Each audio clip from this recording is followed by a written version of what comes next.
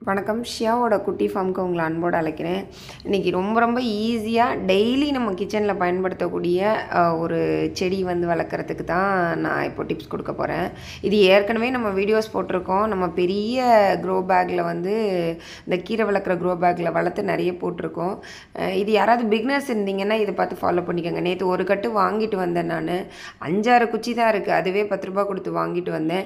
நிறைய டைம் எடுத்து வைப்பேன் இந்த தண்டை வளர்க்குறதுக்கு. பட் நம்ம சோம்பேறித்தனம் அப்படி இப்படி அப்படின்ட்டுன்னு கடைசி அது காஞ்சு போயிடும். இன்னைக்கு முடி செஞ்சே ஆகணும் அப்படின்னு சொல்லிட்டு எடுத்திருக்கேன். இந்த மாதிரி கொஞ்சம் பெரிய தண்டுகள்லாம் இருந்துச்சுன்னா ஈஸியாக வளர்ந்துரும். அதில் பாருங்கள் அந்த வேர் எல்லாமே இருக்குது நல்லா பிடிச்சிருக்கும். அதே மாதிரி இந்த குட்டி குட்டி தண்டில் பார்த்தீங்கன்னா எல்லா அந்த நோட்ஸ்லேயும் அந்த கணுக்கள்லேயும் கொஞ்சம் உங்களுக்கு அந்த வேர் வெளியே வந்திருக்கும். அப்படி இருக்கப்போ நீங்கள் என்ன பண்ணலாம்? அதை கட் பண்ணிவிட்டு ஒரு ரெண்டு நோடுக்கு ஒன்று அப்படின்னு கட் பண்ணிவிட்டு நீங்கள் வச்சிங்க அப்படின்னாக்கா இன்னும் கொஞ்சம் நிறைய செடி வந்து நீங்கள் ப்ராபகேட் பண்ணி வளர்க்கலாம். நான் இந்த மாதிரி கொஞ்சம் நீளமாக இருக்கக்கூடிய தண்டுகள் எல்லாத்தையும் வெட்டி தான் வைக்க போகிறேன் இதுக்கு வந்து சும்மா நீங்கள் ஒரு பிளாஸ்டிக் ட்ரே வீட்டில் இருந்தது அந்த மாதிரினா கூட வளர்க்கலாம்.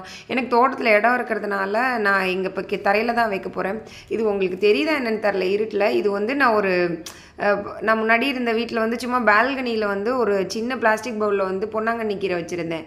அது வந்து அப்படியே இலைகள்லாம் குறுத்து போய் ஆனால் உயிரோடு இருந்துச்சு.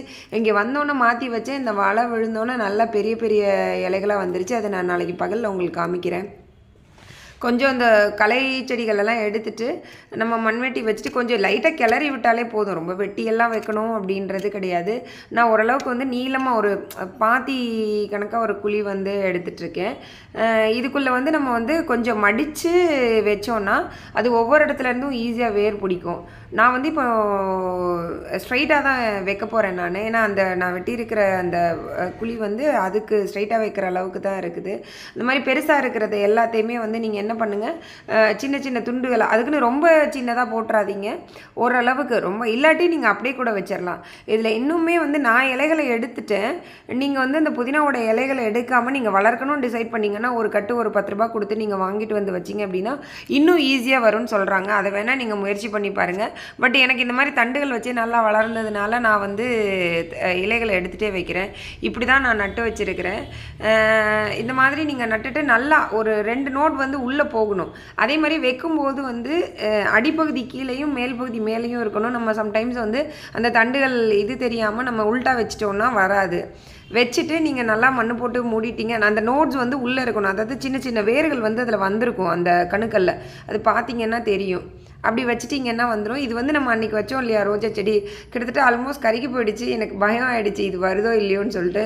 அப்புறம் லைட்டாக அந்த இடத்துல ப்ரௌன் கலர் ஆகிடுச்சு பிச்சு பார்த்தேன் உள்ளே வந்து பச்சை இருக்குது. ஸோ வெயிட் பண்ணி பார்ப்போம். துளிர் எடுத்துருச்சுன்னா அது கடலோட செயல் தான் இதுதான் நான் நேற்று வச்ச அந்த புதினா தண்டுகள். இது இன்னும் மேக்ஸிமம் ஒரு ஒன் வீக்கில் வந்து துளிர்த்துரும். துளிர்த்ததுக்கப்புறம் நான் காட்டுறேன். துளிர்த்துருச்சுன்னா ஆட்டோமேட்டிக்காக அது படர ஆரம்பிச்சிடும் ஆனால் நம்ம என்ன பண்ணணும்? மேலேருந்து கட் பண்ணி எடுக்கணும். நம்ம இலைகளை மட்டும் பறிச்சுட்டு தண்டை விடக்கூடாது. இந்த வீடியோ பிடிச்சதுன்னா லைக் பண்ணுங்கள் நீங்களும் முயற்சி பண்ணி பாருங்கள் தேங்க்யூ